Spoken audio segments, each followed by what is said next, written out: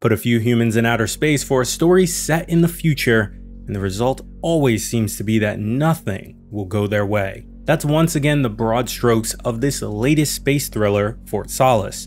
But the intrigue, as ever, is in the details. Developer Fallen Leaf does a good job of hiding the satisfying answers to its central mysteries up until the very end, which makes its story consistently absorbing even as some of its gameplay elements betray its own Hollywood-inspired intentions.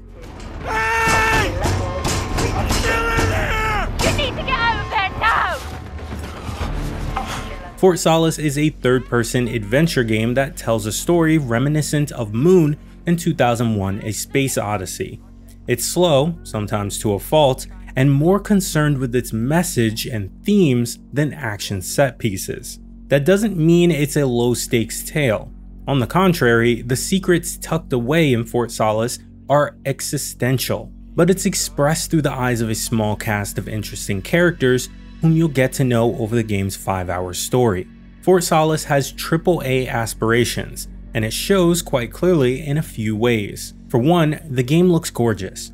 Built in Unreal Engine and presenting gameplay in an over-the-shoulder style, it would be easy to mistake this indie for the next big budget cinematic thriller. That's further solidified by its exceptional cast, headlined by Roger Clark, and Troy Baker. But the complete cast of about 10 or so people is just as well written with great performances to match. Clark's Leary and Julia Brown's Jessica Appleton do well to color in the world in the first hour, including their own characters who would otherwise be amorphous Mars transplants in drab uniforms. So, you hated it? Uh, I wouldn't say hate, I just, I wish he had done more. How could he possibly have done more? They were surrounded by zombies. In Fort Solis's vision of the year 2080, we've yet to occupy Mars as a species, but corporations have made it a mining and research hub. I bet you can guess how that's going. As a skeleton crew stays behind to work what is essentially a weeks long graveyard shift on the Red Planet, a distress call across the facility alerts Jack Leary to an issue within the titular research lab. The game ramps up its drama at a pace that pulled me right in, where early chit chat and jokes over the radio with his scene partner, Julia Brown's Jessica Appleton, soon grew more stressed as doors appeared sabotaged, then dire as bodies started to pile up. Jack? It's the guard, he's dead. What? Paced to unfold like a miniseries meant to be marathoned, the central question of what happened on Fort Solis is expertly hidden from full view for nearly the entire game, is presented in a visual one-shot style without any loading screens, doling out the next dangling thread at a pace that kept me both guessing and playing. I was impressed by how well it shielded the truth of the matter while simultaneously drip feeding a lot of details over time. It does this largely through video gamey methods, optional audio and video logs, as well as emails. Though that approach is far from novel, it feels justified in this universe where workers are recording messages to send back to their families on Earth or cataloging some of the facility's recent dangers to cover their own liability concerns. This ample number of optional clues led me to carefully examine everything I could find. For example, not just the words in an email, but the date it was sent, who wrote it, and whether I'd already seen the other side of the conversation. I was trying to reveal the magician's prestige before they presented it to me. I never did figure it out any sooner than I was meant to, which kept me engaged and ultimately satisfied. Like a lot of games, it does feel like the story demands you to dig through many of these optional clues to have it all make sense.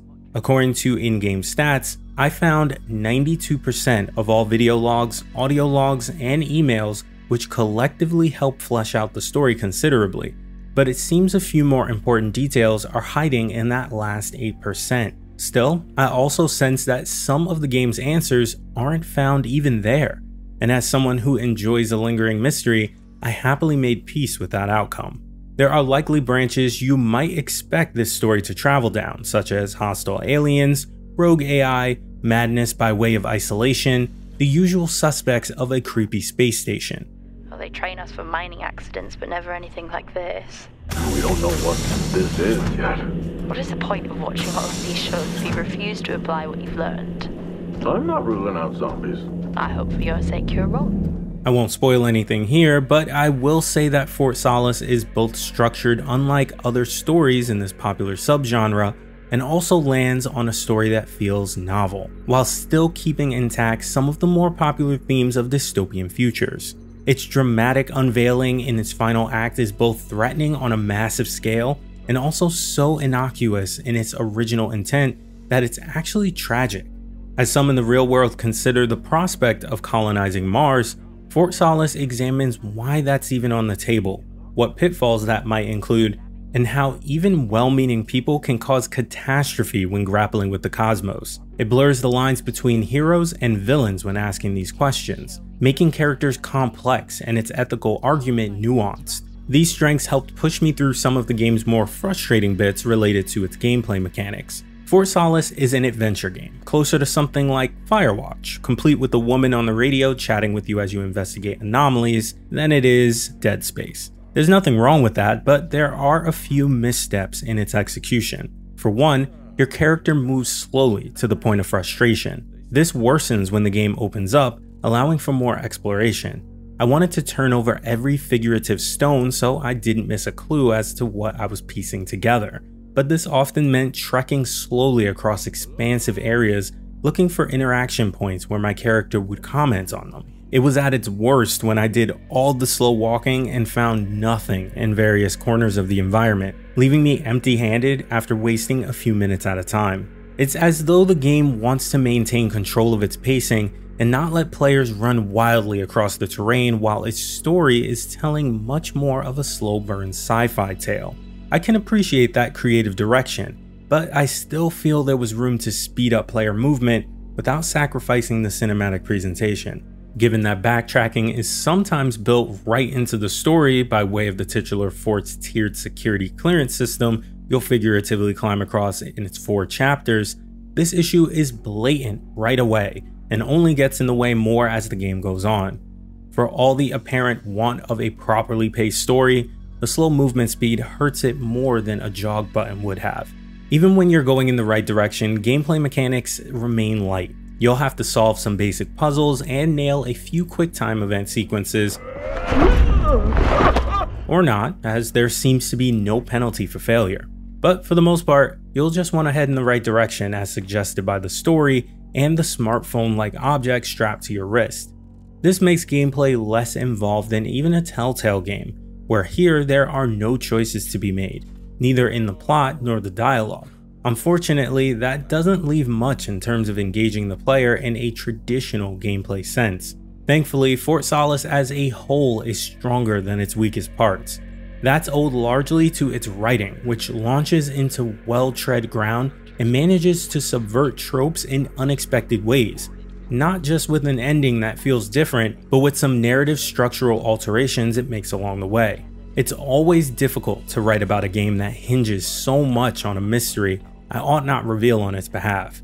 But suffice it to say, though I could vaguely see its themes coming, the actual unfolding of the plot is unique and satisfying, and it left me with the ethical questions I was clearly meant to ponder and still do as I write this review. Though fiction, I've traveled to one space station or another more times than I can count across many years and many forms of media. It's a setting I always enjoy, as an opening at least, and from there, stories may or may not keep me invested depending on what they do with that foundation. Fort Solis places a small but intriguing cast in its off-Earth saga in ways that can be familiar, but it justifies its addition to the subgenre with its own fun twists and philosophical arguments.